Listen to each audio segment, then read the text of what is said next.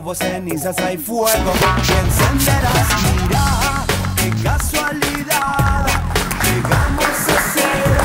Muy bien, señores, aquí estamos, nuevo bloque de 678. Voy a aprovechar, eh, antes de presentarles el informe, para despedirlo al señor Ariel Basteiro, que estuvo con nosotros compartiendo el programa.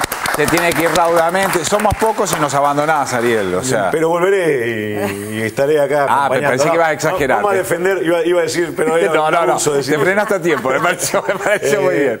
Eh, Y nada, vendré, iré a defender la causa, la causa de, de- de una aerolínea en el, en- en el Estado y para todos. Bueno, muchas gracias por venir, viejo. ¿eh? Vamos al siguiente informe, tiene que ver con la situación en España. A pocos días de las elecciones vamos a ver un spot que habla sobre la situación de los inmigrantes que pasó Víctor Hugo Morales en su programa en Canal 9. Lo vemos. Las elecciones en España. Volvamos a aprovecharnos de la generosidad de Víctor Hugo y su bajada de línea y a solo días de los comicios en España, veamos cómo los inmigrantes se burlan del racismo existente en ese país, que el domingo votará por el partido más conservador y discriminador. Hay que poner orden y control en el fenómeno migratorio. Somos el segundo país del mundo, solo superado por Estados Unidos a la hora de entrar ciudadanos extranjeros.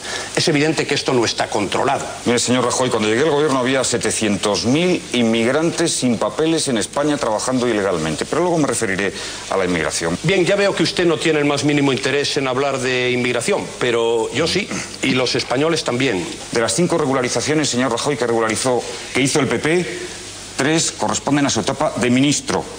Requisitos. Bastaba una factura de una noche de hotel o un bonobús. Señor Rajoy, ¿con qué cara habla usted de regularizaciones?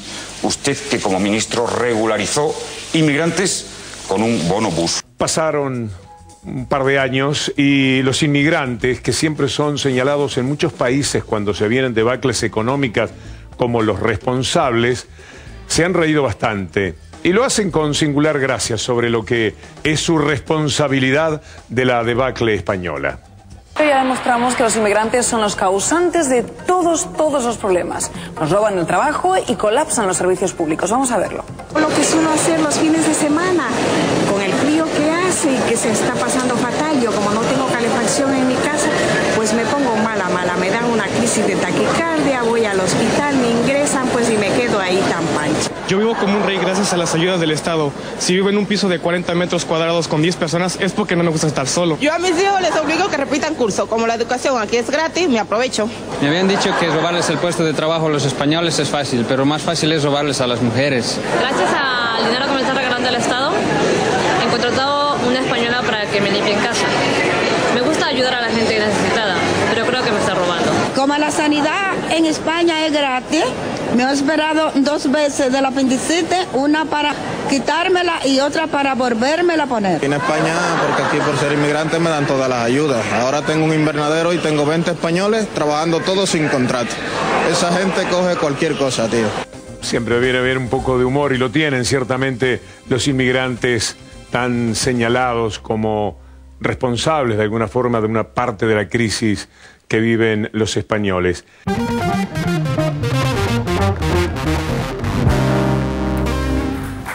A ver, Damián, ¿qué pensás? Vos viviste en España. Sí, también, yo viví casi dos años en España. Mirá, eh, primer concepto claro, están totalmente integrados los españoles. Eh, también eh, me parece que ante todas estas actitudes fascistas que suelen surgir, hay que recordar que fueron en parte también los artífices de- del momento en que España estuvo hace pocos años como octava potencia mundial, que eso pasó hace poquitos años, menos de 10 años. Y los españoles están totalmente integrados a España.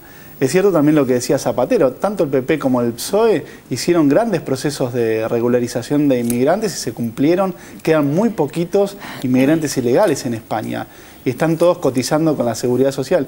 Incluso cuando vos vas a vivir en, en España, te, rápidamente te dan este, servicios sanitarios y escolarización para tus hijos, más allá de tu estatus eh, migratorio. Vos podés tener una condición de ilegalidad y el Estado te garantiza de todos modos este, la escolarización para tus hijos y toda la cobertura sanitaria. Yo creo que cuando en un momento de elecciones, que el domingo hay elecciones, siempre surge esta cosa facha, pero en todos los países y en España lamentablemente tam- también se da decir la culpa de lo malo es de los inmigrantes. Pero la realidad es que están totalmente integrados, eso es lo que yo viví, en, eh, al menos en Madrid, ¿no? Absolutamente integrados y bueno, siempre hay Eh, siempre en esto, hablando de España, eh, no hay que olvidar que fue un país que vivió una dictadura de 40 años.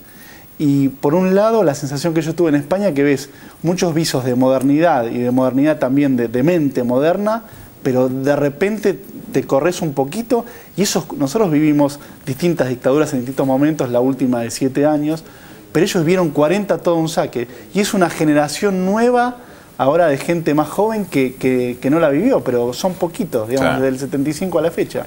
Entonces esos resabios quedan en España muy fuertemente, a veces están representados más que nada en el PP, pero quedan claramente. A ver, Sandra. Sí, bueno, de todas maneras, cómo no recordar en la década del 90 el apelativo de Sudaca con toda la carga este, despectiva que tenía. Y por otro lado, así empezó todo. Así empezó, digamos, la, la gran bola neoliberal en Europa, tal como, cómo no recordar mirando esto a Macri hace unos meses diciendo eh, en diciembre pasado que los problemas de la ciudad de Buenos Aires la- son por causa de los inmigrantes ilegales. Eh, y, cómo no recordar que, por ejemplo, Sarkozy, antes de ser presidente de Francia, fue ministro del Interior y llevó adelante las políticas más duras y más xenófobas contra los inmigrantes Mm. eh, del Magreb en, en Francia. O sea que em- empieza como una, como una cuestión de, de xenofobia y después termina en la más cruda y rancia derecha.